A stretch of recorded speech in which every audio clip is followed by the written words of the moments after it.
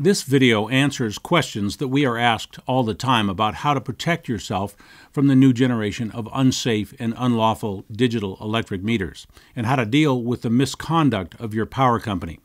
When you understand the materials we offer at freedomtaker.com, you will have a much better chance at making your home safe and private against invasive, unhealthful, and unsafe electric meters. First, and most important, is probably the legal notice.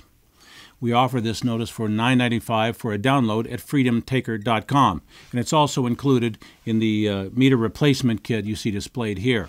The legal notice is more than seven pages long. We update this regularly. You edit some information on this notice, and we give you a CD-ROM to do that. You just load it in your computer. There's full instructions there. You add your name and address, things like that, and then you print it out and send it to your power company by certified mail. It informs the power company in clear language with legal references that digital meters are unsafe and unlawful. In other words, you are noticing your power company that they are in criminal misconduct by installing digital electric meters. Why is this so important?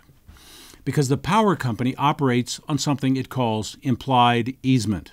You always let them maintain your electric service before, so they feel they can do whatever they want to maintain it now by allowing them on your property to read and maintain your meter, they have assumed you will allow them to come on your property to commit crimes. As odd as it seems, you have to give them formal notice telling them they may not do that because they are sneaking in and playing stupid as if they don't know the difference between a safe analog meter and a digital radiation emitting surveillance device. So, with our notice, you tell them on the record that they are now breaking the law and you do not give consent for their radiation and surveillance on your property. This is in writing and you will receive proof of service by certified mail. After receiving that, they can no longer pretend they have a right of easement or access to your property for those purposes. And the meter installer is, in fact, inviting criminal and civil actions against himself if he attempts to install a digital meter on your property. The notice then tells the power company they have a limited time, say three weeks, to remove any unlawful device. And if they fail to do so by that time, you will act in self defense and replace the device yourself with a safe and lawful meter of your choosing. You may give them less time than three weeks if you suffer health effects from the digital meter. Many people do. The notice tells them that the analog meter you provide will be calibrated, zeroed, and standard and will provide accurate readings of your electricity use. There's no reason they can't use that meter to calculate your billing as they have always done. You are paying for that service. Remember, you have done nothing wrong. You are only demanding that the power company obey the law and observe your property rights. And you send that notice, which is the formal demand in writing by certified mail. And after receiving that notice, if the power company calls you, knocks on your door, or sends you any message with any denial, threat, or bullying, you simply give them a photocopy of the certified letter and the delivery receipt and tell them to read it. They don't get their way simply by ignoring their mail. Your notice is enforceable. The only lawful response to your notice is to give you a safe analog meter. The digital meter installation is a violation of the law. So your job then is only to repeat your notice and let them know. If they contact you with any threats, any intimidation that is non responsive to your notice, that is irrelevant to your notice, that is admission of unlawful conduct, and that's all it is. Once the three weeks has passed, you may wish to send them a notice of default. We offer those notices free of charge to people who purchase our notices here. If the power company has failed or refused to provide a safe and lawful meter within that three weeks, according to your requirement as property owner and as occupant, they are now in violation of both the law and your authorized demand. You may then, under full authority as the owner or occupant of the property and in self defense of your health, safety, and rights, replace the meter with a safe and lawful analog meter, such as the ones we offer in our meter replacement kits. And then again, if your power company accuses you of tampering or stealing electricity, if they threaten to cut off your service, refer them to our notice that you sent them. All that is covered in the notice, and they have no legal grounds or authority to trouble you in any way because, again, it is the power company committing the violation, not you.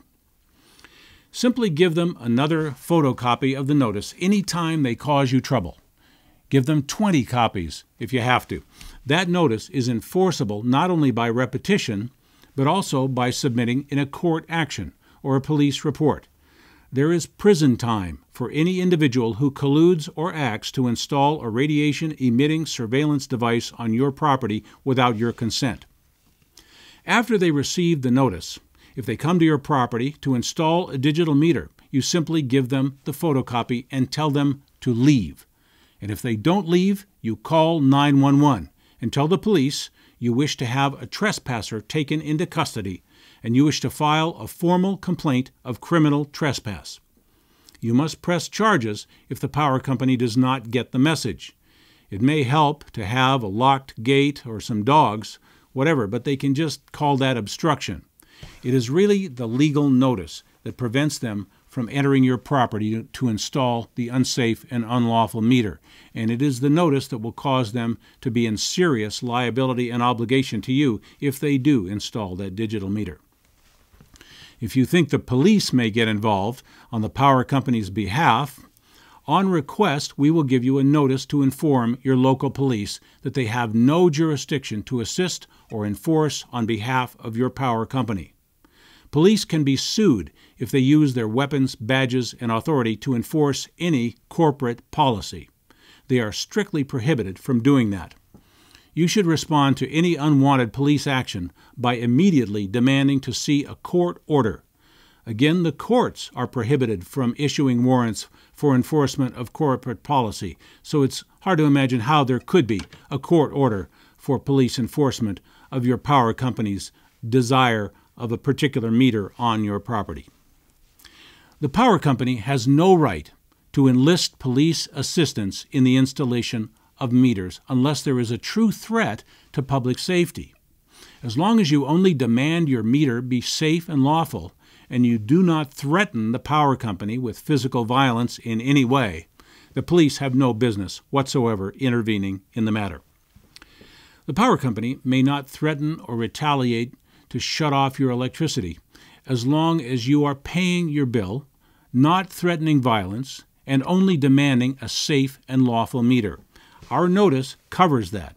If they threaten to retaliate in any way, give them a copy of your notice with the mail delivery receipt to prove the date of delivery. If you have to repeat the notice, you may want to send them a cover letter summarizing your demands and positions, pointing out each of their repeated violations, and referring them to the notice. Keep track every time they threaten to install the digital meter and the name of the person making the threat.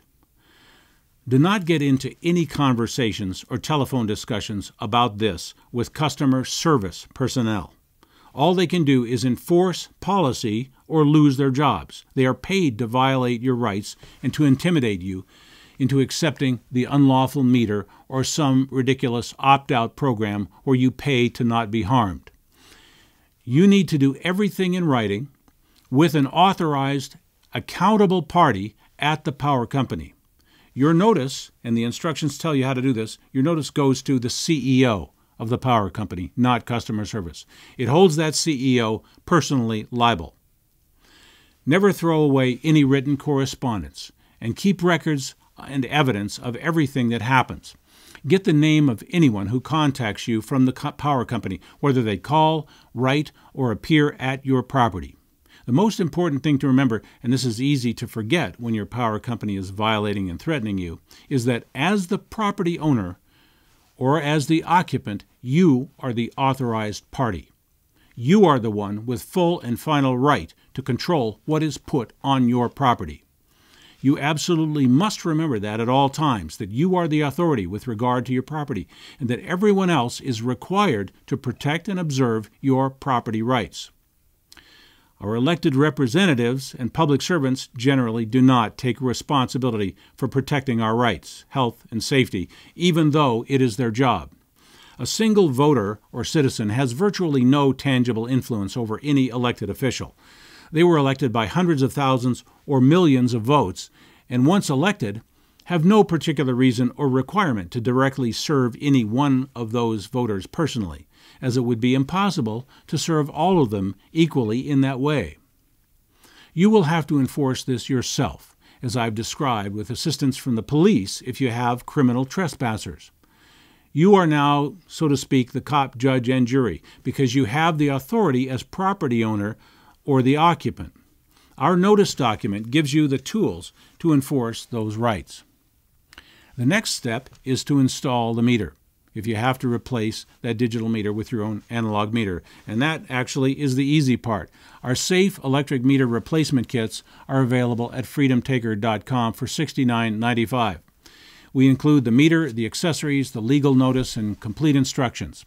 If the power company fails or refuses to satisfy your demand for a safe and lawful meter, you are then entitled to act in self defense. The term self defense is important legally because in self defense you can do a lot of things that you cannot do otherwise, such as replace your electric meter. At freedomtaker.com, there are contacts for us if you have any more questions. This video and our products do not constitute legal advice. These are personal opinions and discussions that may or may not be useful to you. I am not an attorney. Proceed at your own risk.